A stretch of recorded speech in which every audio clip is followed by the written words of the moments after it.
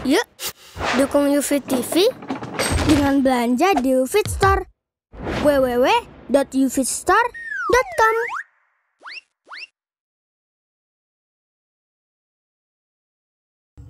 Ma'asyiral muslimin rahimakumullah. Orang-orang yang banyak berzikir. Kita sering melihat orang berzikir habis sholat. Nah, itu disyariatkan.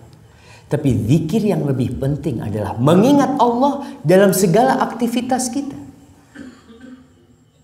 Jangan orang di tokonya berzikir subhanallah, subhanallah, subhanallah, subhanallah, masya Allah. Itu sesuatu yang indah. Tapi ketika orang beli dia tipu. Dia bohong. Bukan itu. Orang yang mengingat Allah adalah orang yang meninggalkan kemaksiatan. Dan amalan zikir ini amalan yang paling mudah jemaah. Ketika ada seorang sahabat, nih buat orang-orang tua nih. Buat orang-orang yang sudah pensiun, yang sudah susah. Ada seorang sahabat datang ke Rasulullah SAW. Ya Rasulullah, inna syara'i al-Islam qad kathurat alayya. Wahai Rasulullah sallallahu alaihi wasallam sesungguhnya syariat Islam itu udah banyak banget, udah susah nih untuk ngamalinnya. Tolong aku dikasih amalan yang aku bisa berpegang teguh dengan amalan itu. Aku bisa istiqomah ngamalin itu. Apa kata Rasul sallallahu alaihi wasallam? La yazalu lisanuka radban bidzikrillah.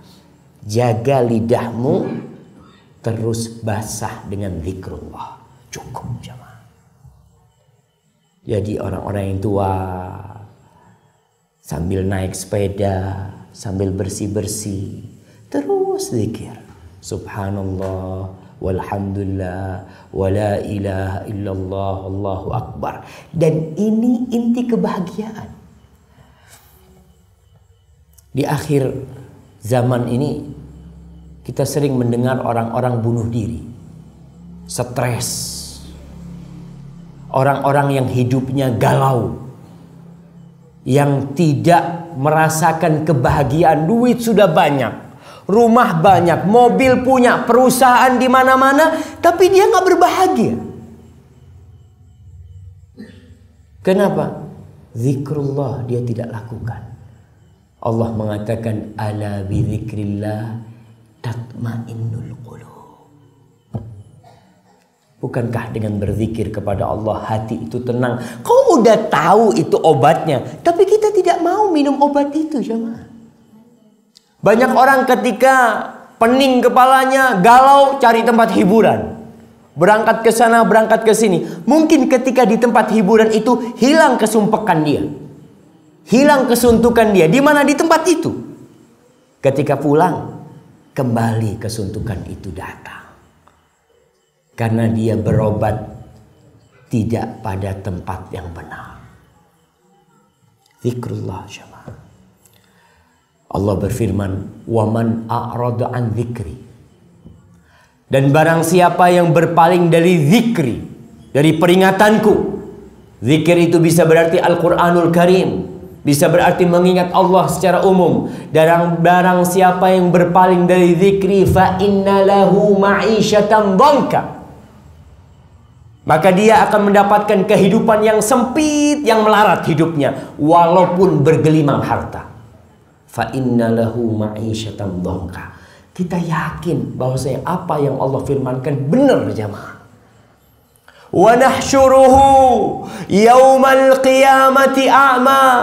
Dan kita akan himpun dia pada hari kiamat dalam kondisi buta.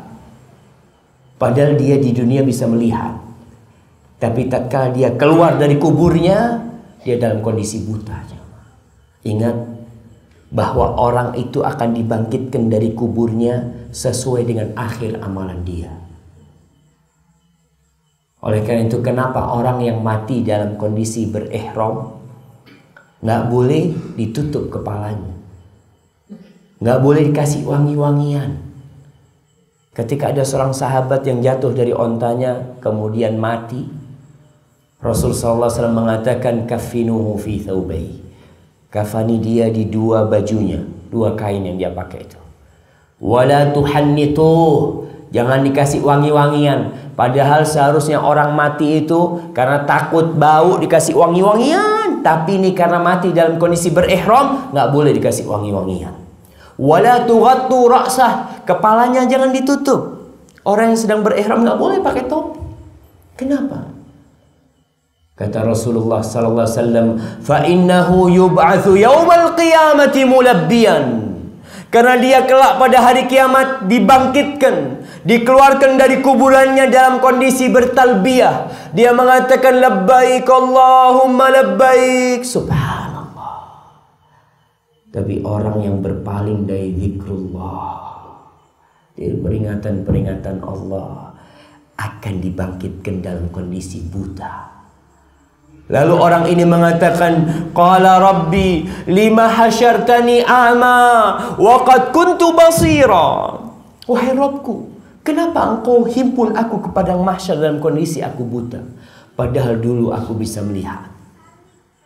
Apa kata Allah? Qala kadzalika atatka atatka ayati fanasita.